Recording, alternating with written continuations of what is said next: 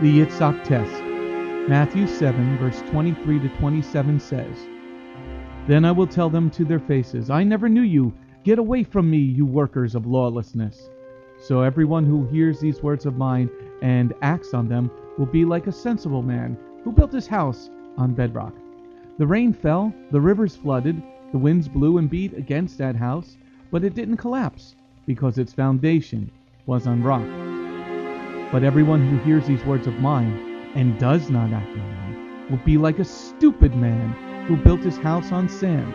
The rain fell, the rivers flooded, the wind blew and beat against that house, and it collapsed. And its collapse was horrendous. Verse 27 follows what was said by Messiah in verse 23.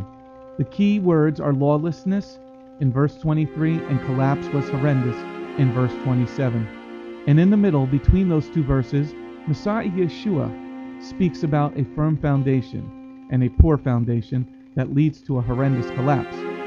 In the message, the Yitzchak test, we will focus on real people from the past in the Bible to study their lives to see who had a firm foundation, those who had shaky foundations, and those who totally collapsed.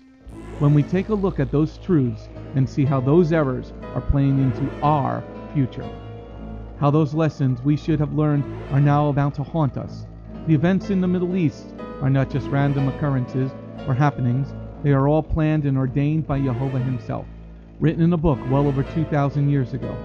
We will study the book of Ezekiel and look specifically at chapter 38 to see why certain American embassies were attacked and why. Section 1 of this message is entitled The Troubles Because of a Poor Foundation. Section 2 trust, and desire.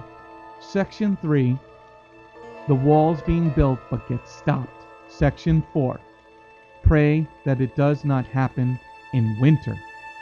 Finally, Section 5 Ezekiel 38 The Coming War.